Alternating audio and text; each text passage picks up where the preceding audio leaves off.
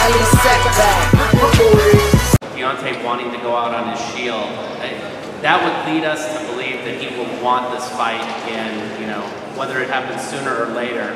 What is your exact opinion on, you know, his willingness to get back in there against Tyson? Yeah, I, I think absolutely. Um, you know, my guess is knowing him like I do that he will absolutely want to uh, rematch. And um, I mean, these guys have put on two tremendous fights already so I certainly think that the uh, the public, you know, will, will want it, and uh, I think we'll want it, and I think they'll want it, and so it seems it seems a natural.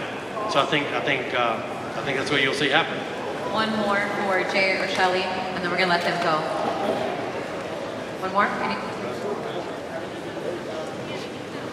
Go. Hi, this uh, question is from Tyson, uh, Ryan O'Hara with FightNights.com. I want you to go into some details about uh, uh, referee Kenny Bayless. Do you feel like that he got involved in the action too much? Uh, where am I? Thank you guys. All the best.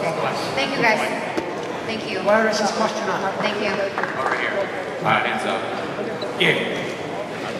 Well, way back here. In I'm the in back, the back, media back, section.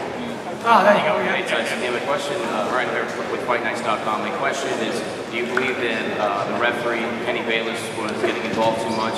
And what are your thoughts on that? It felt like that he was getting in between you guys too much. Listen, I've- the man's got a job to do. He did a good job. He took control of the fight and he did what he had to do. You know, I've got no uh, no problems with what he did. And it was what it was. You know, it was a it was a grueling fight while it lasted, and he was trying to clean it up in there. We- we- He hit me after the bell. I hit him not after the bell. Like after we separated, we hit each other.